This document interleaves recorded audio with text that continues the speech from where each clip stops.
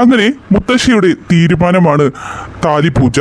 മുത്തശ്ശി ഒരുപാട് തവണ ഷാബിയോട് പറഞ്ഞിട്ടുണ്ട് എന്റെ പരീക്ഷണങ്ങളിലെല്ലാം നീ വിജയിച്ചാൽ മാത്രമേ അഖിലിന്റെ ഭാര്യയായിട്ട് എന്റെ കൊച്ചുമകന്റെ ഭാര്യയായിട്ട് ഞാൻ നിന്നെ അംഗീകരിക്കുകയുള്ളൂ എന്നുള്ള കാര്യം പാട്ടിടും വസുന്ധരയോടും അത് തന്നെയാണ് പറയുന്നത്. കാരണം മുത്തശ്ശിക്ക് സ്വന്തമായിട്ട് നിലപാടുള്ള ഒരാൾ തന്നെയാണ്.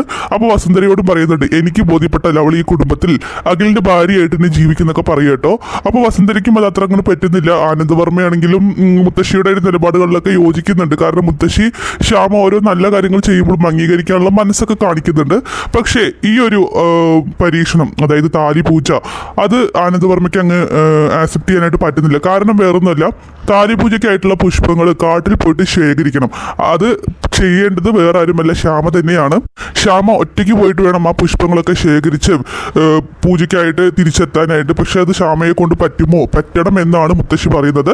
അപ്പോൾ ആനന്ദവർമ്മയൊക്കെ പറയുന്നുണ്ട് അമ്മേ അതൊക്കെ ആലോചിച്ചിട്ട് വേണം. കാരണം അവളൊരു പെൺകുട്ടിയാണ്. ഒറ്റയ്ക്കൊന്നും കാട്ടിലേക്ക് വിടാനായിട്ട് പറ്റില്ല. അതൊക്കെ നടക്കുന്ന കാര്യമാണെന്നൊക്കെ ചോദിക്കുമ്പോൾ നടന്നേ മതിയാവൂ. ശ്യാമയെ അഖിലിന്റെ ഭാര്യയായിട്ട് എല്ലാവരും അംഗീകരിക്കണമെങ്കിൽ അവരൊത്ത പെണ്ണാണ് ശ്യാമ എന്നുണ്ടെങ്കിൽ എല്ലാം കൊണ്ടും കോർത്തിണക്കിയ ബന്ധമാണെന്നുണ്ടെങ്കിൽ ഈ മംഗല്യ പൂജയ്ക്ക് താലിപൂജയ്ക്കുള്ള പുഷ്പങ്ങൾ അവളെ കൊണ്ട് കൊണ്ടുവരാനായിട്ട് പറ്റും. ഒരു തടസ്സവുമില്ലാതെ അവളെ പുഷ്പങ്ങളൊക്കെ ഇങ്ങോട്ട് കൊണ്ടുവരികയാണെങ്കിൽ ഉറപ്പായിട്ടും അവർ രണ്ടുപേരും ഒന്നിച്ച് താമസിക്കേണ്ടവർ തന്നെയാണെന്ന് മുത്തശ്ശി പറയുക കേട്ടോ.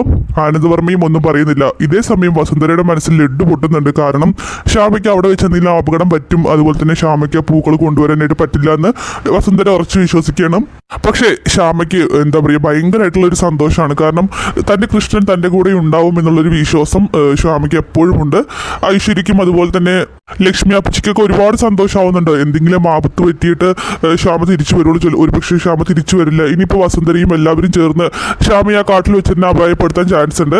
അതുപോലെ തന്നെ നമ്മുടെ അഖിൽ പറയുന്നുണ്ട് ശ്യാമയോട് നീ പോകണ്ട നീ തനിച്ചു പോകണ്ട ഈ പൂജ നടന്നില്ലെങ്കിലും വേണ്ടില്ല എന്നൊക്കെ പറയുമ്പോൾ ഏയ് സാർ അങ്ങനെ പറഞ്ഞാൽ പറ്റില്ല. മുത്തശ്ശിയുടെ നിർബന്ധമാണ്. ഇത് മുത്തശ്ശിയുടെ ആഗ്രഹമാണ്. എന്തായാലും നടത്തണം. ഞാൻ പോയിട്ട് പൂക്കൾ പോയിട്ട് കാട്ടിൽ പോയി ശേഖരിച്ചിട്ട് വരാമെന്നൊക്കെ പറയുന്നുണ്ട്. അപ്പോൾ എന്തായാലും ശ്യാമ തന്റെ ഈ ഒരു യാത്രയിലേക്ക് പോവുകയാണ്. ഇനി എന്താകുമെന്ന് നമുക്ക് കണ്ടറിയാം. ഈ ഒരു ഈ ഒരു പൂജയിൽ ഷാബി വിജയിക്കുകയാണെങ്കിൽ മുത്തശ്ശി ഉറപ്പായിട്ടും ഷാബിയെ സ്വന്തം കൊച്ചുമോന്റെയും ഭാര്യയായിട്ട് ഏറ്റെടുക്കുന്നുള്ള കാര്യം ഉറപ്പാണ്. അപ്പം നമുക്ക് എല്ലാവർക്കും കാത്തിരിക്കാം.